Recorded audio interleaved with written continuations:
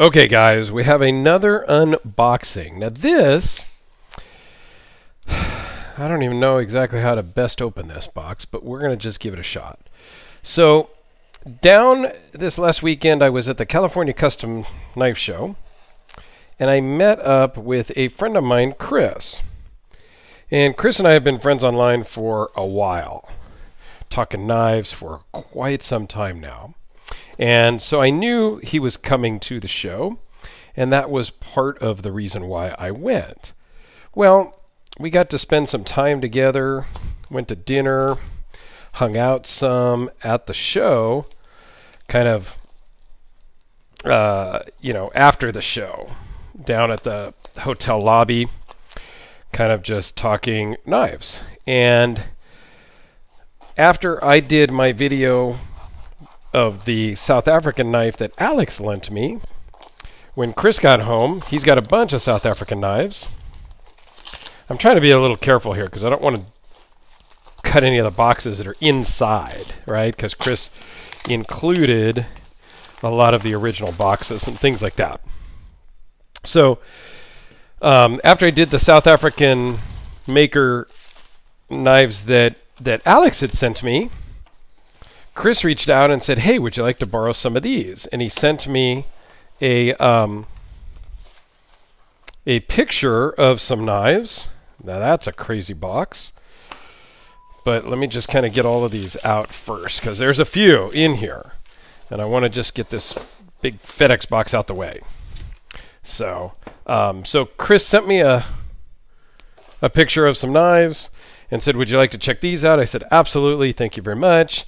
And he sent them all over. So I'm going to go through these probably fairly quick because I don't have all the information for them. Because uh, Chris also sent me a an Excel spreadsheet with information on all of these. And we're going to go right to this very unique box first that slide to open like uh, yeah it's pretty look at the box guys i mean it's already slid open so let's just let's just pop this guy out really quick and take a look at the box I, I'm just like I'm just kind of speechless here on the box by itself. So let's see if we can get this to close up. It got jostled in shipping a little bit, but uh, yeah, so I may have to play with that a little bit because it doesn't quite line up, and I don't want to break it. But dude, I mean, this is just craziness. Like this is absolute crazy craziness. The box that's starting to fall apart here because you know that's what happens. So, but wow, just I don't even know. All kind of curve cut here, and this is all wood. All right, enough about the box. As I've always said, packaging is important. So these are all South African makers, okay? And this one is uh, George George Muller. I don't know much about these guys, about any of these South African knives, but holy Jesus, look at that. Dude, Chris, you've got some amazing stuff here. And I'm not I've been impressed with all the ones I've gotten from Alex, and I'm not disappointed. Damascus backspace. Look at that. Guys, I'm telling you, all of the stuff I've seen and handled from South Africa is absolutely next level. Okay? So let's just kind of put that off to the side. Let's uh, grab this one. This was one I was very interested in from the pictures, just because it looked so cool. Uh, on bearings.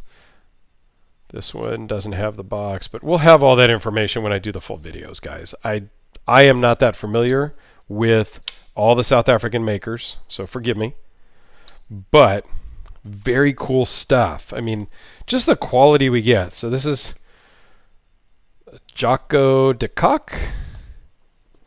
I think is how you pronounce that. Oh boy. I mean, this is some crazy stuff. You cannot feel the seam. Look at that. Just crazy. It's got some fingerprints on it. Don't worry. When I do the regular videos, you'll see all of it in its glory. We'll get them all cleaned up. Nice and purty. Oh my god. That detent was just something else. Like light, but oh god. Okay, so far I I just wow. Yeah. So far I think this one's my favorite. The first one from George was also my favorite, but I think that one might have trumped it. Not sure. No no political pun intended there, guys. Um, this is from Kennison Knives.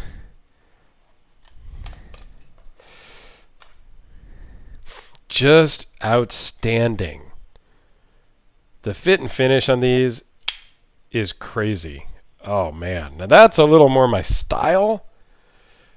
I love it. It's got a, you know, just a really heavy stonewash blade, but oh, beautiful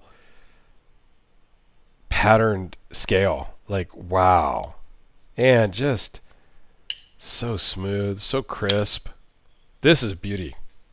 Wow. I'm I'm not even sure what I'm going to be able to film first. I'm just so normally I try to kind of pick the cool one or, you know, man, oh geez, I think there's extra in this one.